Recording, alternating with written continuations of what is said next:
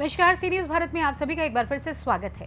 खबर उन्नाव से है, यहाँ पुलिस के सामने इस समय दोहरी मुसीबत है। एक तरफ़ लगातार हो रही चोरी की घटनाएँ, पुलिस के लिए चुनौती बनी हुई हैं तो वहीं दूसरी तरफ़ चोरी के शक में जनता द्वारा अज्ञात लोगों के साथ अमानवीय व्यवहार करने और उनकी पिटाई करने की घटनाएँ चिंता का विषय बनी हुई हैं। बीते एक महीने में तकरीबन आधा दर्जन घटनाएँ ऐसी सामने आ चुकी हैं, जिसमें ग्रामीणों ने अज्ञात लोगों को चोर समझकर पिटाई कर दी। कई मामलों में तो बंधक बनाने की भी घटनाएँ सामने आ चुकी हैं।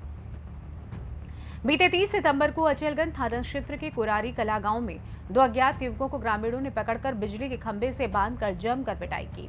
घटना की जानकारी पर अचलगंज पुलिस मौके पर पहुँची और दोनों युवकों को मुक्त कराया। बाद में पता चला कि दोनों मजदूर हैं और मजदूरी का पैसा लेने आए थे और रास्ता भटक कोरारी कला गाँव पहुँच गए। उनका कोई आपराधिक इतिहास भी नहीं मिला। दूसरा मामला एक अक्टूबर की रात का बारह सगवर थाना क्षेत्र के अकबरपुर गाँव का है। जहाँ एक बाइक सवार युवक से ग्रामीणों ने पहले आधार कार्ड मांगा और जब वो आधार कार्ड नहीं दिखा पाया तो ग्रामीणों ने चोर समझकर पीट डाला, जबकि युवक अपनी बहन के घर आया था। ग्रामीणों ने युवक को इतनी बेरहमी से पीटा था कि उसके हाथ की तीन उंगलियाँ कट गई। सिर में गहरी चोट आई, सूचना पर पहुँची पुलिस ने युवक को अस्पताल में भर्ती कराया। ये मामले तो महज बानगी भर हैं। आए दिन लोगों द्वारा अज्ञात युवकों को चोर समझकर पिटाई करने की सूचनाएँ लगातार सामने आ रही हैं। वहीं एसपी अखिलेश सिंह ने बताया कि पुलिस द्वारा लगातार जागरूकता अभियान चलाया जा रहा है। ग्राम सुरक्षा समिति के माध्यम से पुलिस लगातार गश्त कर रही है। फिर भी अगर ऐसे मामले सामने आते हैं तो तत्काल पुलिस को सूचना दें, कोई भी इस तरह का अवैध कार्य ना करे। सुनिए।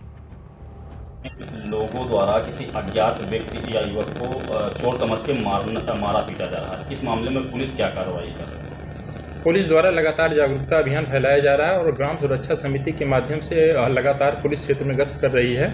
फिर भी अगर कहीं इस तरह के मामले आ रहे हैं तो लोगों को ये बताया जा रहा है कि आप तत्काल पुलिस को इसमें सूचना दें। अगर कोई अगर संदिग्ध दिख रहा है उनको तो ये तत्काल पुलिस को सूचित करें ताकि आवश्यक कार्रवाई की जा रही है।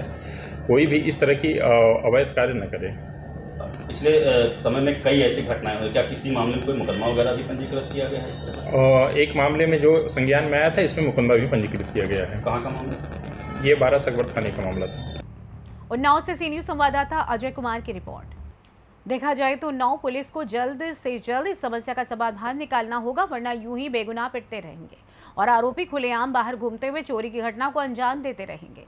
खैर, इस खास रिपोर्ट में बस इतना ही। देश दुनिया की तमाम खबरों की जानकारी के लिए आप देखते रहिए सी न्यूज़ भारत। हर खबर आपके साथ, आपके हाथ।